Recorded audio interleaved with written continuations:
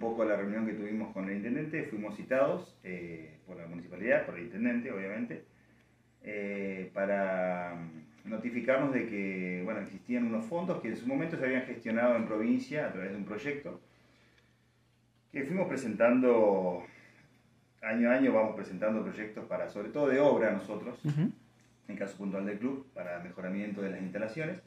Y bueno, nos citaron para informarnos de que había unos fondos que iban a ser eh, bajados en los próximos días. Y un poco era para ponernos en tema y como para coordinar la firma del convenio. Así que más que contentos porque nos viene eh, muy bien ese dinero como para poder seguir avanzando en las obras que hoy en día estamos llevando adelante en la cancha de fútbol 11, en la zona de vestuarios. Mira, eh, por suerte, con recursos propios y escasos, pero hemos podido, todo el año, lo que va del semestre, hemos podido seguir trabajando, avanzando, mejorando los vestuarios, los baños.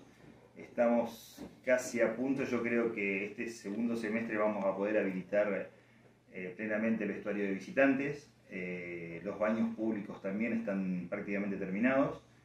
Eh, debajo de la tribuna, ¿no es cierto?